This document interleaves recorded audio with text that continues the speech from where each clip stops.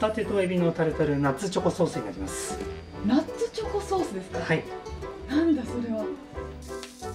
まずホタテとエビを片面ずつ焼いてボウルに移しマヨネーズとレモン汁塩で和えれば簡単ホタテとエビのタルタルが完成。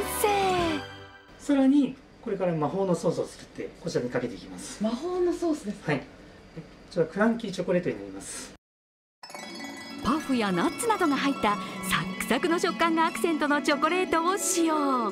どんな魔法のソースを作るのでしょうか？まずチョコレートと生クリームを温めてマヨネーズを加えます。このチョコレートソースの紙配合になります。紙配合ですか？はい。生クリームとマヨネーズの割合は 20g を1対1しかしこれで終わりではありませんさらにこのソースに魔法をかけるポイントが。なんといってもお酢を最後に入れることになります。お酢チョコレートの甘みは酸味との相性が抜群なのでソースだけだと甘ったるくなってしまうのでそれに酸味で締めて相乗効果をつけたソースになります。お酢小さじ1を加えて混ぜ合わせれば。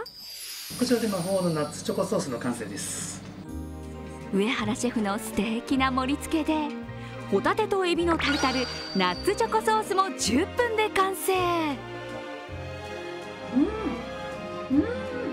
ホタテの塩味であったり旨味っていうのを、甘さと酸味のバランスが取れたナッツチョコソースが引き立てていて味に深みが出ますね。カリッとした食感もこうアクセントになっていて本当に美味しいです。このナッツチョコソースはお肉やお魚何でも料理になる万能な魔法のソースになります続いて3品目は。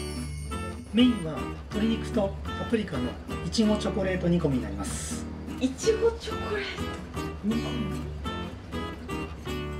み。まずは鶏肉玉ねぎを加えしんなりするまで炒めます。パプリカ、ナス、トマトも加えたらブイヨンを加えて軽く煮込みます。そして最後にこのいちごチョコを入れていきます。程よい甘酸っぱさが特徴のいちごチョコレートをいよいよ投入。ここにもポイントが。最後に板チョコ1枚を躊躇せずに入れるのがポイントです、はい、えー、鶏肉と野菜の出汁がたっぷり出ているので板チョコ1枚ガツンと入れないと逆にいちごの味がしなくなっちゃいます。見たことのない色になってきたレモン汁で味を整えればもう完成。メインディッシュのお味は？うん。チョコレートのこうクリーミーさっていうのが、うんこう煮込み料理にはすごく合うのかもしれない。手軽に簡単にそして時短でできるっていうところもチョコレートと料理革命だなって思いましたね